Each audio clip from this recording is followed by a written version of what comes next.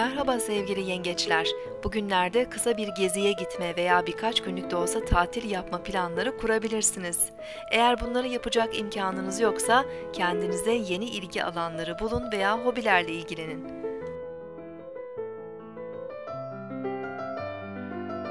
Bugün 6 Nisan 2014 Pazar, Güneş günündeyiz.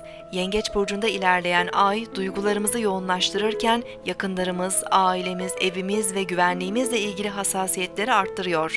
Bugün evde daha fazla zaman geçirebilir, yakınlarımız ve ailemizle ilgilenebiliriz. Öğleden sonraki saatlerde ay Jüpiter'le kavuşup Uranüs ve Plüton'la sert görünümler yapacak.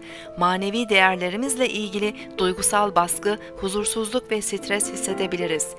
Güvenlik ihtiyacımız yoğunlaşırken tepkilerimizi kontrol etmemiz de daha zor olabilir.